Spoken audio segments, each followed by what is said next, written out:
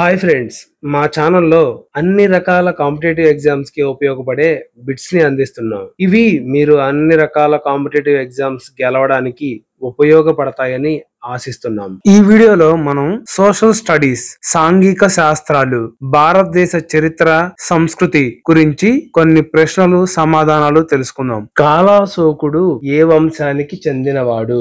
Options A నంద వంశం B. Haryanka వంశం C. Maurya వంశం డి. శిశునాగ వంశం ఆన్సర్ డి. శిశునాగ వంశం అరబెలా యుద్ధం ఎవరి మధ్య జరిగింది? Options A. మొదటి డేరియస్ వర్సెస్ అలెగ్జాండర్ బి. రెండవ డేరియస్ వర్సెస్ అలెగ్జాండర్ సి. మూడవ డేరియస్ వర్సెస్ అలెగ్జాండర్ డి. నాలుగవ Darius versus Alexander. Answer C. మూడవ డేరియస్ వర్సెస్ అలెగ్జాండర్.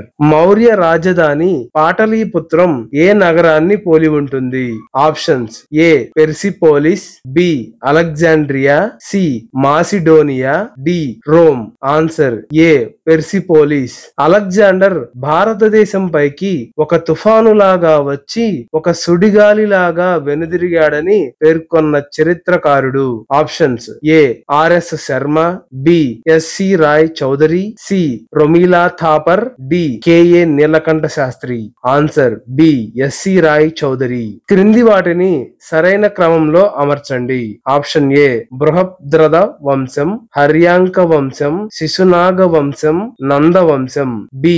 హర్యాంక వంశం బృహద్రథ వంశం నంద వంశం శిశునాగ వంశం సి. బృహద్రథ వంశం శిశునాగ వంశం హర్యాంక వంశం నంద వంశం డి. శిశునాగ వంశం బృహద్రథ వంశం హర్యాంక వంశం నంద వంశం ఆన్సర్. ఏ. బృహద్రథ వంశం హర్యాంక వంశం శిశునాగ వంశం నంద వంశం ఇది సరైన క్రమం అన్నమాట. రెండవ బౌద్ధ సంగీతి ఏ రాజవంశ కాలంలో జరిగింది? జరిగింది ఆప్షన్స్ ఏ. హర్యాంక వంశం బి. నంద వంశం సి. మౌర్య వంశం డి. శిశునాగ వంశం ఆన్సర్ డి.